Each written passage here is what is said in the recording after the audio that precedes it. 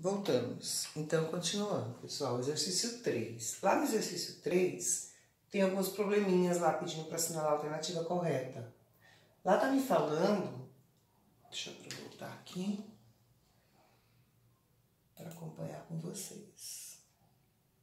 Lá tá assim, as aulas de aula de Paulo têm duração de 3 horas e 50 minutos, ok? É, esse período é equivalente a se eu sei que uma hora tem 60 minutos, ele está me falando que ele teve 3 horas de aula. Então, eu vou fazer 60 vezes 3. Eu vou achar 180 minutos. Mais quantos? 3 horas e 50 minutos. Então, eu vou somar 3 horas, 60, uma hora equivale a 60 minutos. Então, eu vou fazer 60 vezes 3, depois o resultado de 180 minutos mais 50 minutos. 180 mais 50 vai dar 230. A alternativa correta é 230 minutos. Ok?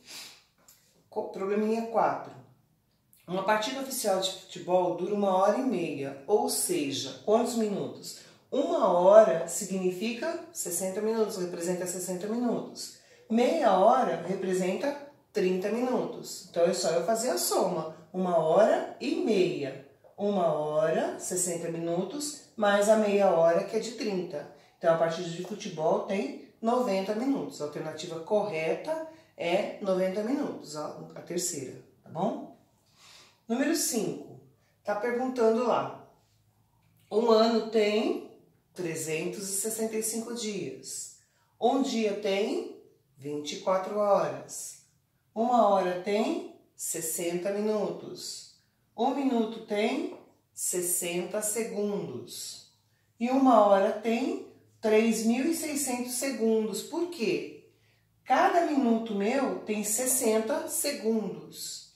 Uma hora significa quanto? Olha, 60 minutos. Então, eu vou multiplicar 60 vezes 60, eu vou multiplicar os minutos pelos segundos. Então, uma hora tem 3.600 segundos. É só multiplicar 60 vezes 60. Porque uma hora tem, aqui ó, uma hora tem quantos segundos? Está perguntando lá.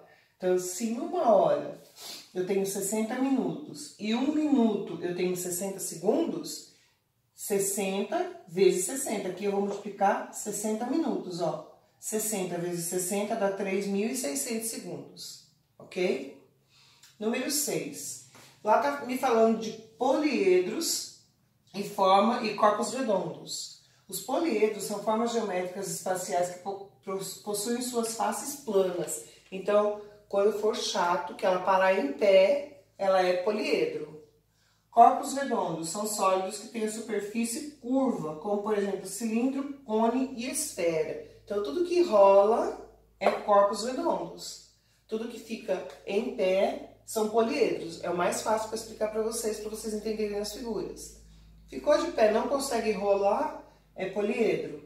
Se você deitar no chão e sair rolando, são corpos redondos. Lembrando que bola não é corpo redondo, tá, gente? Bola é cilíndrica, ou bola é esfera, desculpa. Bola é esfera, tá bom? Então, não pode esquecer disso, tá? Bola não é corpos redondos, certinho? Daqui a pouquinho eu volto de novo.